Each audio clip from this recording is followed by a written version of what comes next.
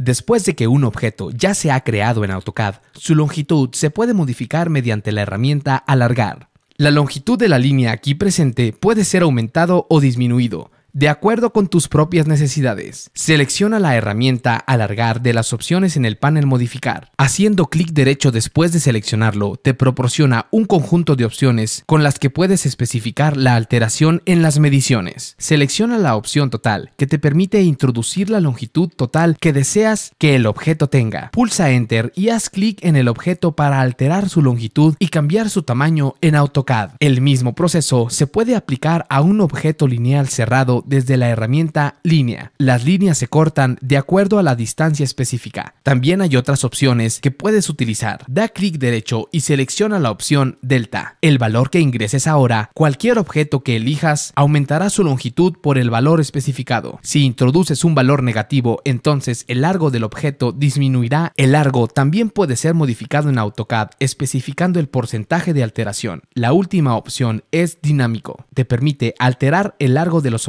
manualmente. Haz clic con ella en el objeto y cambia el tamaño en AutoCAD de acuerdo a tus necesidades. Ten en mente cuando selecciones una opción que para seleccionar otra primero tienes que presionar ESC, deshacerte del comando y elegir otra nuevamente.